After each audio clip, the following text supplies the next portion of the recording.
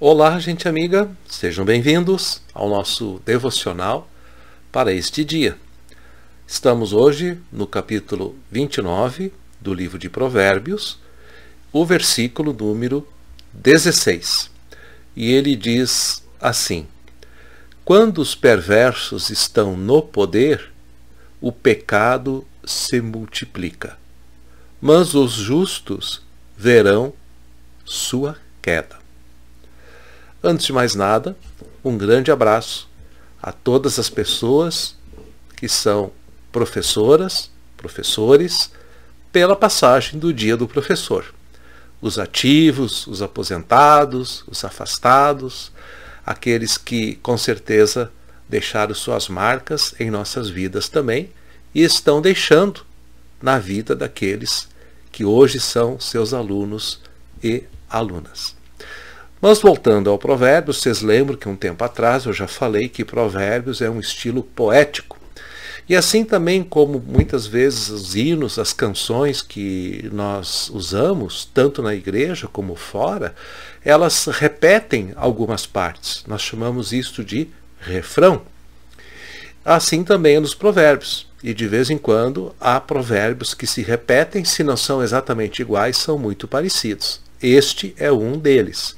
Se não me falha a memória, é a terceira ou quarta vez que ele aparece. Isso é sinal do quê? Que ele é importante. Muito importante. Então, lembrando que se os perversos estão no poder, as consequências serão perversas também. Aqui diz que haverá um momento em que eles cairão, mas não sabemos como nem quando será. A única coisa que nós sabemos com certeza é que se os perversos estão no poder, foi porque teve gente que escolheu a estes para dar o seu voto, pelo menos nos tempos atuais aqui no Brasil. Depois reclamamos da atitude, né, em todos os níveis da nação, pessoas que têm processos, pessoas que é, são criminosos de carreira, e conseguem de uma forma ou outra ludibriar né, a justiça e estão lá no poder, se tornam intocáveis, aumentam a sua perversidade. Então, se nós queremos esta, este país, que é a nossa pátria atual, melhor, nós temos que cuidar com a quem damos o poder. Sim, somos eu e você, nós que somos é, eleitores, que damos o poder para as pessoas que nos representam. Talvez nem sempre aqueles que votamos são os que foram eleitos, mas com certeza todos eles merecem um profundo estudo antes de darmos o seu voto a eles. Ano que vem tem eleições. Você já está se preocupando com isso? Você está reclamando que há muita gente é, que não deveria estar na área da política, seja ela qual for, então, se eles receberam votos, tomara que não tenha sido o meu e nem o seu, né? Mas é pelo voto que eles cairão. Muito simples. Então Deus nos deu esta liberdade, o nosso país nos deu esta liberdade de poder votar e escolher.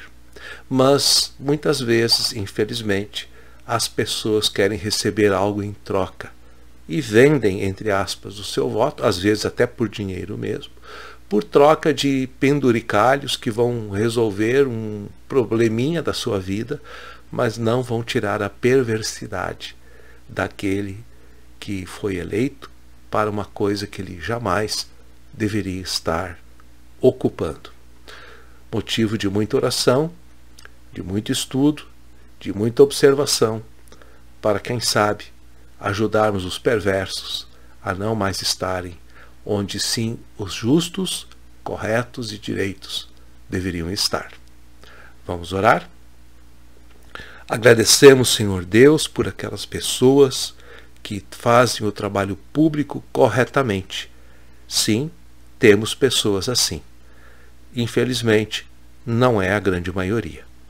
Mas, Pai, que tu nos dê a ciência e a capacidade de saber analisar, estudar profundamente a vida daquelas pessoas que vamos escolher para nos representar. Tu nos deu esta liberdade.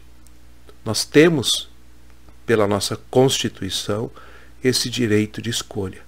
Que sempre possamos fazê-lo, Pai, de forma clara, objetiva e profunda.